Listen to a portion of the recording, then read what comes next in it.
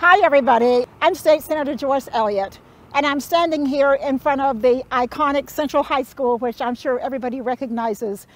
Uh, but I am here because uh, Dr. King has a connection with this school historically. And I think most of you know that history, but he impacted so many lives. And he is the inspiration, of course, for the Martin Luther King Commission.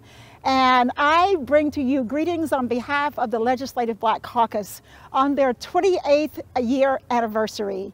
Uh, I am so proud of, of, this commission that works to promote and support policies that positively impact Arkansans in their lives.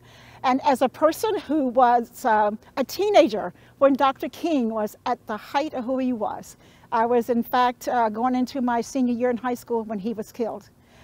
It means a great deal to me that he walked on these grounds and a great deal to me that Arkansas was important enough for him to be a part of who we were and take the time to be here.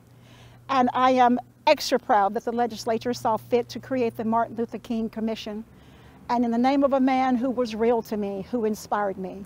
So once again, to uh, DuShun Scarbrough and everybody working at the commission, happy anniversary.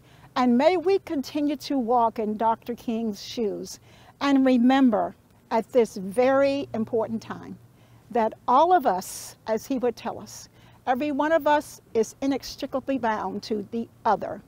In this time, I ask you in the name of Dr. King, let's please, happy anniversary to you, but let's please do everything we can to help one another and protect one another.